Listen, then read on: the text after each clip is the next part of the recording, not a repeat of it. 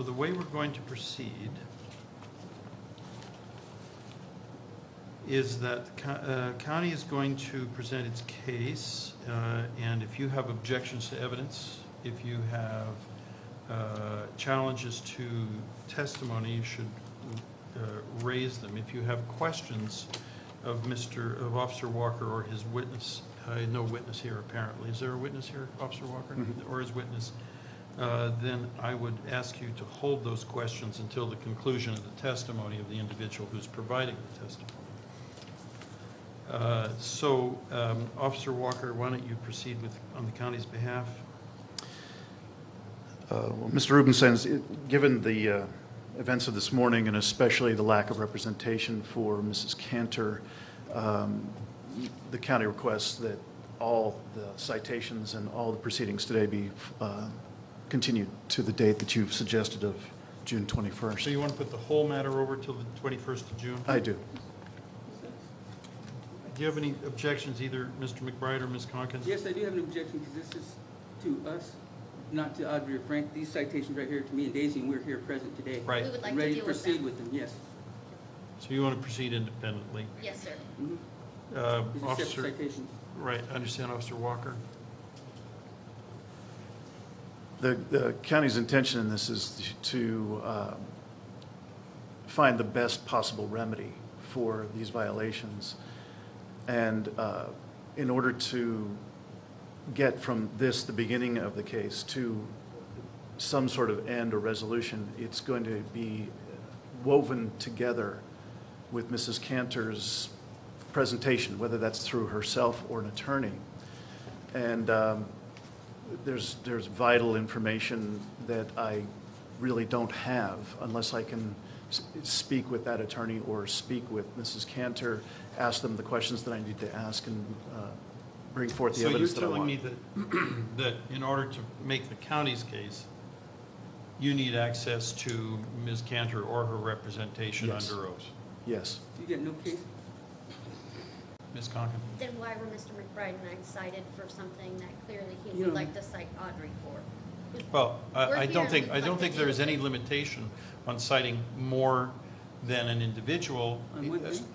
She- The county could just as well have not cited Ms. Cantor and relied upon her as a critical witness, and that would have been perfectly all right as well. So the case is, does not depend, Uh, the validity of the citation against you is not relevant to whether Ms. Cantor is or is not cited.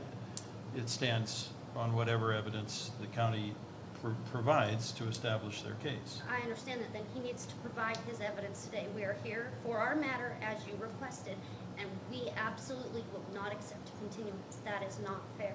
You requested our presence here. Mr. McBride and Well, I county- ourselves are here. The county, the That's county correct. summoned you to come. Y'all are the county, and we've come and spent our morning down here because we were requested. We would like to deal with our citation today. And if there's no case, why are we here?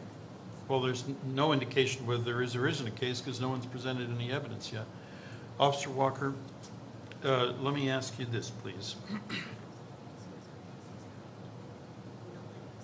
Are the facts that you would present on the county's behalf different with respect to any of the defendants in regard to, well, let's put it this way. There are multiple defendants, multiple charges.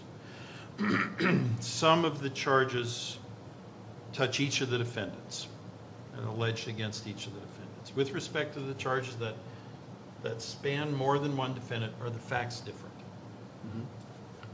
Are the facts the same?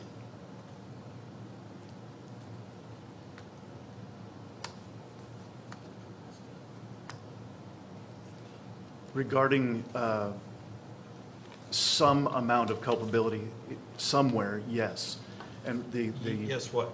Yes, the evidence presented will be the same, with the exception of, I have no way to speak with Mrs. Cantor, or Mr. Cantor for that matter, and, or their, uh, their represent, representative. I believe that they will provide important uh, testimony that will help the county have the fairest and strongest conclusion to the, to the case. Without it, um, I have no question that there, that there's a strong case. It will be a different case without their testimony, without them being here. Well, that's, actually, that's, I'm, I'm just asking whether the body of factual evidence is substantially similar without regard to which defendant's citation is being considered. And you're saying yes. Yes, it's substantially similar across each of them. I, I'm sorry, but I, I- I think that a continuance is appropriate, and I know that's unsatisfactory to you, but the, but the matter appears to me to rest upon substantially the same facts. And I don't know those facts yet, obviously, uh, but uh, uh, I think it is far, far more efficient to present the facts at once, rather than having the county come in and do it two or three times. I'm, I'm looking at my calendar on my. All right.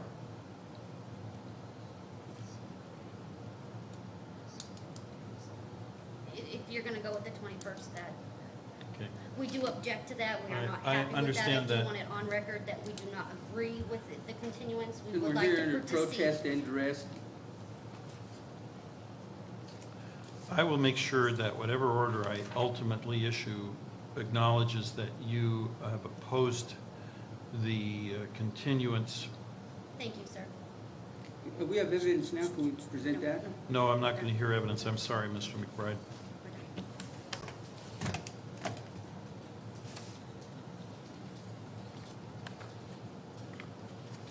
So the way we're going to proceed is that the co- uh, county is going to present its case, uh, and if you have objections to evidence, if you have uh, challenges to testimony, you should uh, raise them. If you have questions of Mr., of Officer Walker or his witness, uh, no witness here apparently. Is there a witness here, Officer Walker? Mhm. Or his witness? Uh, then I would ask you to hold those questions until the conclusion of the testimony of the individual who's providing the testimony. Uh, So, um, Officer Walker, why don't you proceed with, on the county's behalf?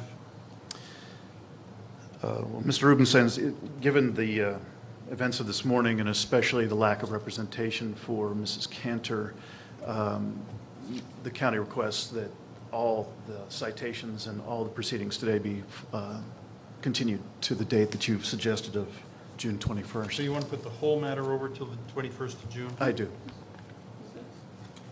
Do you have any objections, either Mr. McBride or Ms. Conken? Yes, I do have an objection, because this is to us, not to Audrey or Frank. These citations right here to me and Daisy, and we're here present today. Right. We would like I'm to Ready to deal with proceed that. with them, yes.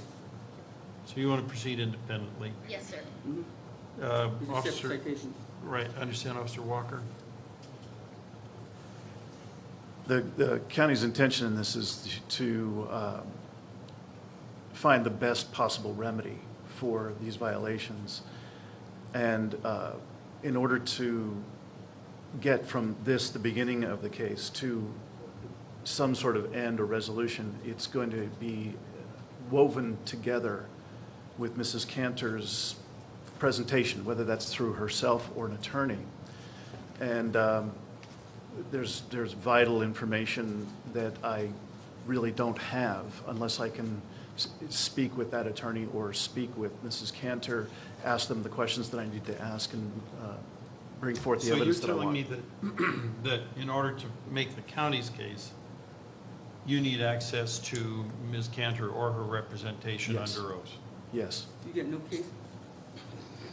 Ms. Conken? Then why were Mr. McBride and I cited for something that clearly he You would know- like to cite Audrey for? Well, I We're I here don't think, I don't think there is any limitation on citing more than an individual. On one thing? She- The county could just as well have not cited Ms. Cantor and relied upon her as a critical witness, and that would have been perfectly all right as well. So the case is, does not depend, Uh, the validity of the citation against you is not relevant to whether Ms. Cantor is or is not cited. It stands on whatever evidence the county provides to establish their case. I understand that, then he needs to provide his evidence today. We are here for our matter as you requested, and we absolutely will not accept a continuance. That is not fair. You requested our presence here. Mr. McBride and Well, I county- ourselves are here. The county, the That's county correct. summoned you to come. Y'all are the county, and we've come and spent our morning down here because we were requested. We would like to deal with our citation today. And if there's no case, why are we here? Well, there's n- no indication whether there is or isn't a case because no one's presented any evidence yet. Officer Walker, uh, let me ask you this, please. Are the facts that you would present on the county's behalf different with respect to any of the defendants in regard to, well, let's put it this way. There are multiple defendants, multiple charges. Some of the charges touch each of the defendants and alleged against each of the defendants. With respect to the charges that, that span more than one defendant, are the facts different? Are the facts the same?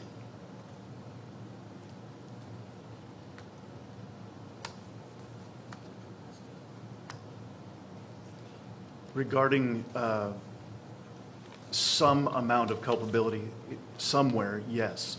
And the, the. Yes, what? Yes, the evidence presented will be the same, with the exception of, I have no way to speak with Mrs. Cantor, or Mr. Cantor for that matter, and, or their, uh, their represent, representative. I believe that they will provide important uh, testimony that will help the county have the fairest and strongest conclusion to the, to the case. Without it, um, I have no question that there, that there's a strong case. It will be a different case without their testimony, without them being here. Well, that's, actually, that's, I'm, I'm just asking whether the body of factual evidence is substantially similar without regard to which defendant's citation is being considered. And you're saying yes? It's substantially similar across each of them. I, I'm sorry, but I, I- I think that a continuance is appropriate, I know that's unsatisfactory to you, but the, but the matter appears to me to rest upon substantially the same facts. And I don't know those facts yet, obviously, uh, but uh, I I think it is far, far more efficient to present the facts at once, rather than having the county come in and do it two or three times. I'm, I'm looking at my calendar on my phone. All right.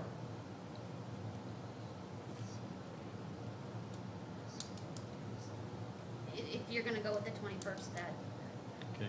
we do object to that. We I- are not I happy with that. understand If you that. want it on record that we do not agree with the- the continuance, we And would we're like here to under proceed. protest and duress. I will make sure that whatever order I ultimately issue acknowledges that you have opposed the uh, continuance. Thank you, sir. Uh, We have evidence now, can we present that? No, I'm not going to hear evidence. I'm sorry, Mr. McBride.